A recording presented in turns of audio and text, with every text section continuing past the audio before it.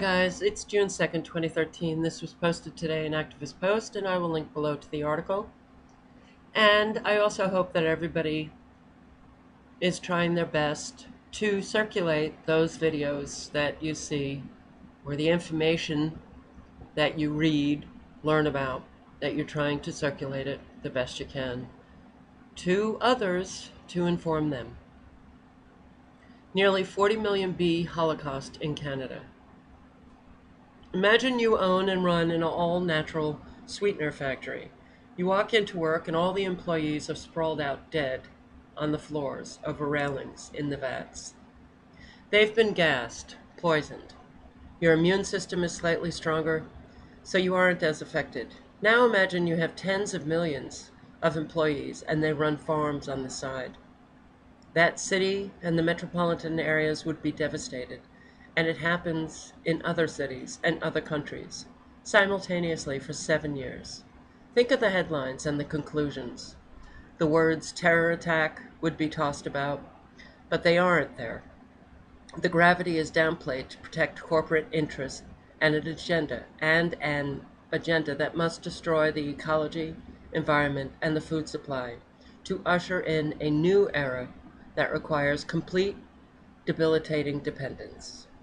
If you think this refrain sounds over dramatic, think again. It's that important for the food supply, ecology, and even the economy that these co creators be able to survive. Recently, 25 to 50,000 bees in Oregon dropped dead with sudden strong evidence pointing to a toxic spray used in trees.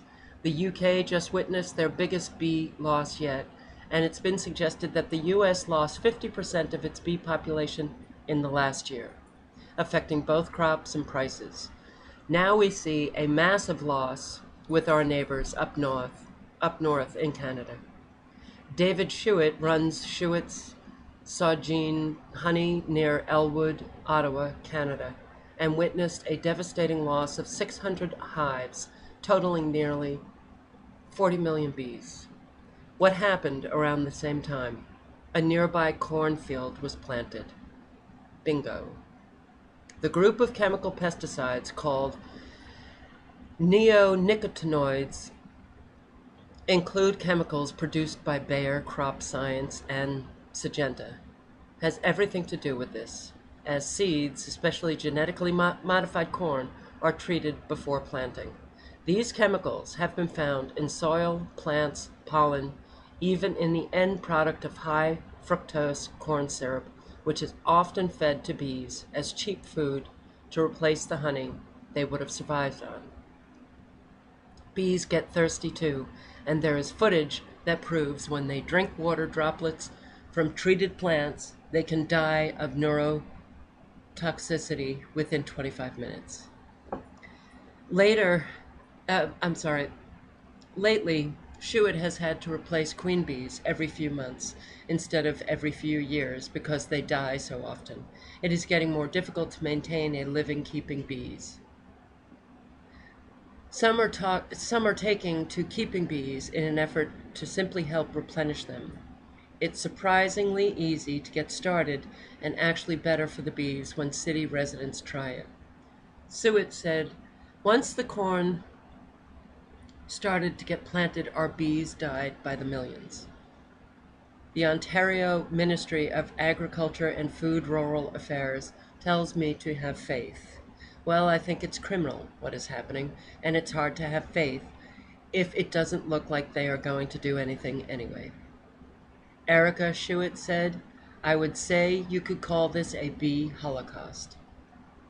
OMAFRA is sitting on results from testing the bees. Erica believes the samples will prove what scientists already know and have repeatedly concluded about the link between insect insecticides and die-offs. Their bees were thriving through the winter until the spring planting. She pointed out that pesticide dust from the seed treatment is in the air. Neonicotinoids have a half-life of 120 days, but can stay in the soil and water for years. She wonders what they must be doing to us. She has a point. Insecticides have been linked to human cancer rates again. It's not just Schuit, though, experiencing the loss. Nearby, growers Nathan Carey and Gary Kenny lost bees this spring and point to insecticides. Kenny lost eight of his ten hives after corn planting in adjacent fields. Terry feels like everyone has something at stake with this growing problem. Some of them have taken to holding public workshops to discuss the issue and solutions, as a system that has taken so long to topple over isn't experiencing an immediate redress or relief. A two year EU ban on neonicotinoids begins on December 1 of this year. Some of the workshop solutions were discussed here and mentioned that other species, such as sweet bees, squash bees, leaf cutter bees, which pollinate alfalfa, bumblebees, some moths, and many others, are dying from pesticides, as well as the use of all heavily doused genetically modified crops. Butterflies, fish, birds, and frogs also top the list for lost, for lost habitat likely caused by pesticides. All of the lettering in red are links to other articles. So when he when I read some of the workshop solutions were discussed here, just press on here to find out what other solutions were discussed. Companies like Bayer and Syngenta take great efforts to protect their billion dollar industries. Same with biotech giants like Monsanto and DuPont, who rely on the idea of pesticides being safe to uphold the use of their genetically modified crops. They are not just going to give up all give all that up to help some bees even though they claim to help with world hunger. Yet it is morbidly ironic that they are aiding in killing off the biggest co-creators of the world's food supply. And this loss, and this loss, which took years to get going, was anticipated.